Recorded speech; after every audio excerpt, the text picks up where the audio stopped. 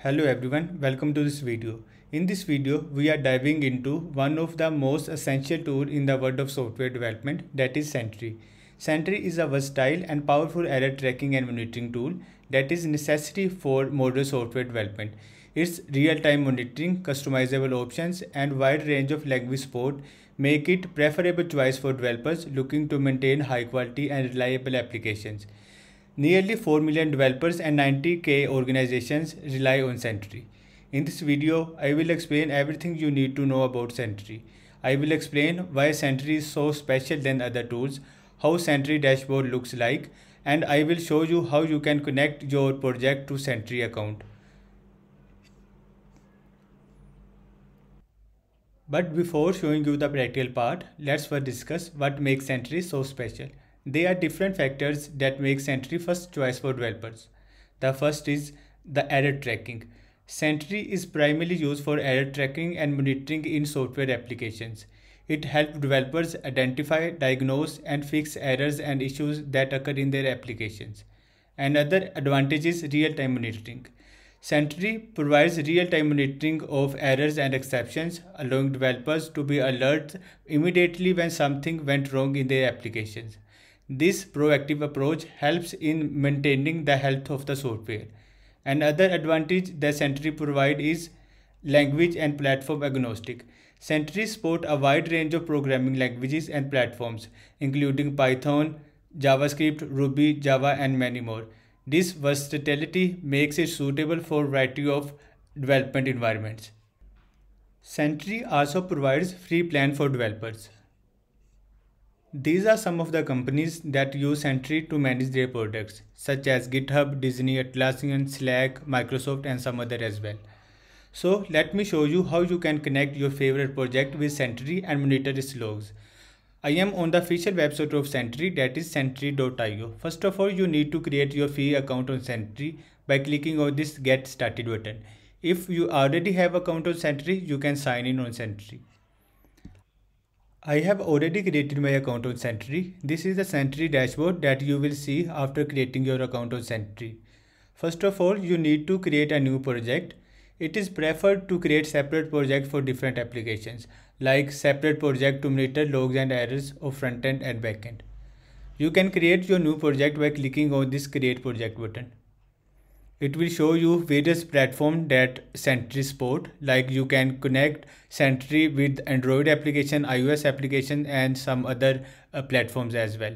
In this video, I will show you how you can connect your Django project with Sentry. Let's connect Django here. So the Django is selected.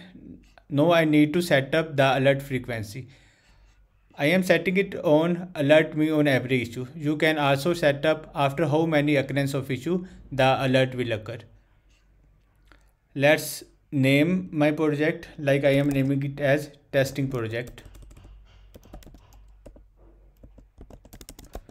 And the name of my team is node. It doesn't matter for you. Let's create a new project. Then Sentry will provide you with very helpful support about configuring the Django SDK. First of all, you need to install the uh, Sentry SDK package in your project. Let's copy the name of this package and move to my VS Code. So first of all, I need to install the Sentry SDK in my project. As I am using the virtual environment, therefore I need to use the pipenv to install the package it will take some time and install the Sentry SDK package in my project. The Sentry SDK is successfully installed in my project. Let's verify this by going to Pipfile. You can see the Sentry SDK under my packages. Let's move back to the documentation to follow the next steps. Now I need to move to the settings.py file and add these lines there.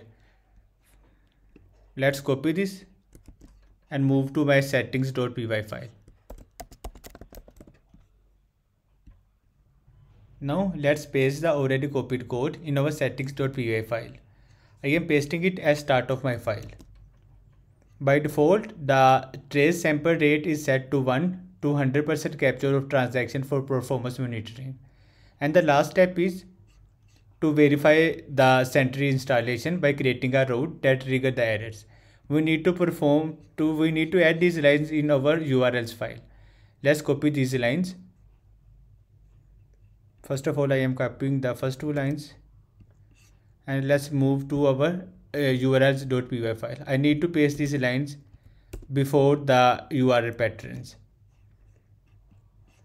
After that, I need to copy this path that will trigger the error.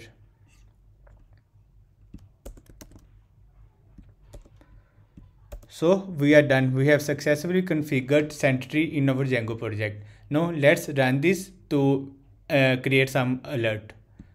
I am switching to my uh, another terminal and run this application.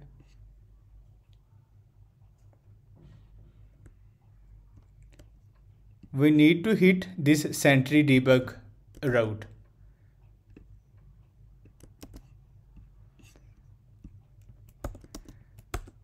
When I hit this Sentry debug route, you can see that division by 0 error. This means some errors has occurred in our application. This should trigger the alert in our Sentry account. Let's move back to my Sentry and click me click that takes me to the issues. You can see it has triggered an alert that division by 0 error. If you want to see some more details about the uh, error, it will show you like on which browser the error has occurred, on which operating system the error has occurred, and it also show you the line where that is causing the issue.